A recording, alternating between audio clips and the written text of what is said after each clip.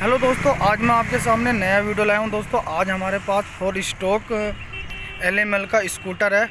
तो ये कुछ समय पहले निकला था लॉन्च हुआ था, काफ़ी चले स्कूटर लेकिन उतना खास रिज़ल्ट इनका नहीं निकल पाया।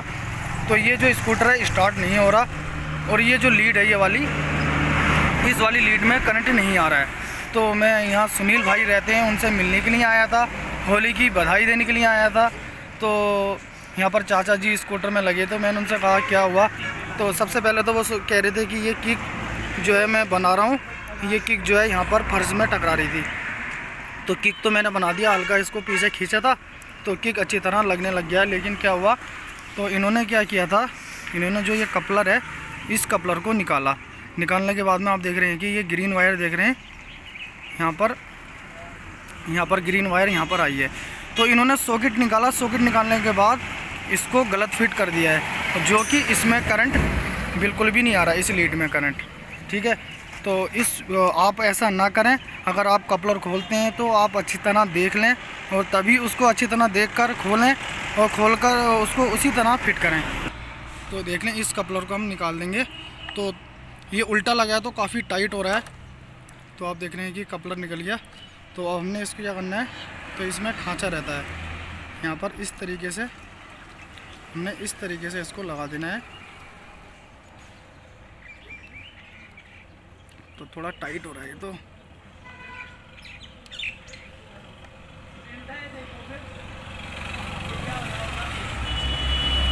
ये देख रहे हैं कि हमारा कपलर अच्छी तरह फिट हो चुका है, ठीक है? और आप देख रहे हैं कि इस वाली लीड में हमारा करंट आ रहा, नहीं आ रहा है। तो एक बार हमने चेम्बर में देखना है इसको।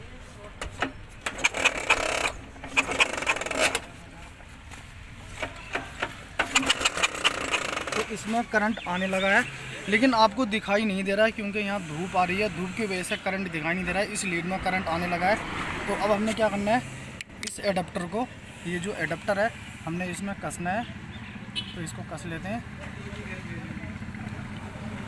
तब कि इसका जो हाउस पाइप है हाउस पाइप भी हमने खोल के देखा। तो स्टार्ट नहीं हो रहा था। फिर मैंने अच्छी तरह देखा तो देखा तो वहाँ कपलर जो है आउट हो रहा था। तो ये प्लग में देख लेता हूँ करंट आ रहा नहीं आ रहा है।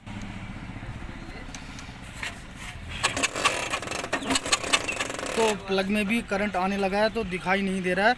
कम करंट आ रहा है लेकिन वो दिखाई नहीं दे रहा है। फिर भी एक बार हम कोशिश करेंगे आपको दिखाने की। तो नज़दीक करो थोड़ा।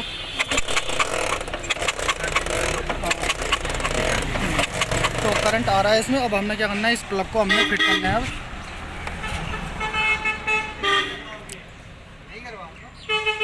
तो प्लग पाना हमारे पास ये है। चाय भी होगी। इसको हम लगा देते हैं। प्लग हमने कस दिया है और इसको लगा देते हैं। और यहाँ पर हमने हाउस पाइप खोल लगाया यहाँ पर हमने हाउस पाइप खोल लगाया तो इसमें हल्का हाथ लगा लेंगे इस तरीके से।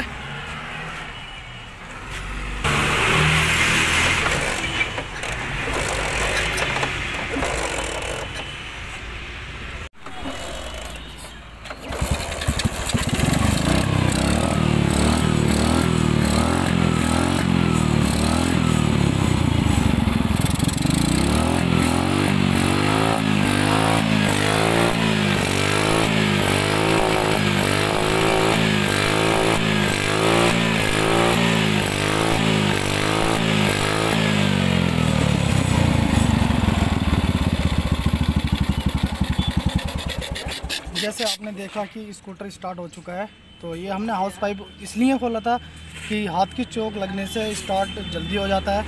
तो अभी हमने क्या करना है, जो ये हाउस पाइप खोला था तो इसको हम फिट कर देते हैं। तो ज़्यादा कुछ नहीं करना है हमने, ये हाउस पाइप है। तो इस हाउस पाइप को इस तरीके से फिट कर देते हैं। रबर का रहता है ये। तो कई पाइप बहुत हार्ड होते हैं। तो ये सॉफ्ट है तो अच्छी तरह बैठ जाएगा। ये बैठ गया तो यहाँ पर एक क्लिप भी है। तो इस क्लिप को क्या करना है हमने? इस क्लिप को इस तरीके से हमने यहाँ पर लाकर इसको कस देना है। इसी तरीके से इस क्लिप को कस देते हैं और देखते हैं कि ये जो हमने हाउस पाइप फिट किया है, इसके बाद स्टार्ट होती है या नहीं होती है। तो ये नट अच्छी तरह कस लेते हैं, पूरा टाइट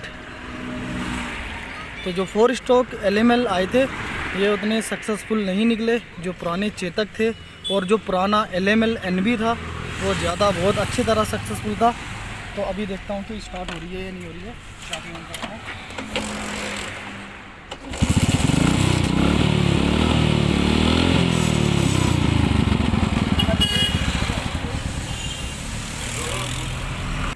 तो जो स्कूटर में प्रॉब्लम थी, वो प्रॉब्लम दूर हो चुकी है और हमने जो हाउस पाइप फिट किया था हाउस पाइप फिट करने के बाद भी हमारा जो स्कूटर है स्टार्ट हो चुका है। तो आप विशेष इन चीज़ों का ध्यान दें। आप विशेष इन चीज़ों का ध्यान दें, जैसे आप ये कपलर खोलते हैं या ये वाला कपलर खोलते हैं तो वह आप अच्छी तरह खोलें और ख्याल रखें कि हमने खोला कैसा है और फिट करना कैसा है। तो मैं छोटे छोटे वीडियो हमेशा बनाते रहता हूँ। अगर वीडियो पसंद आता है तो लाइक शेयर ज़रूर करें। और कमेंट करके ज़रूर बताएँ। तो मिलते हैं नेक्स्ट वीडियो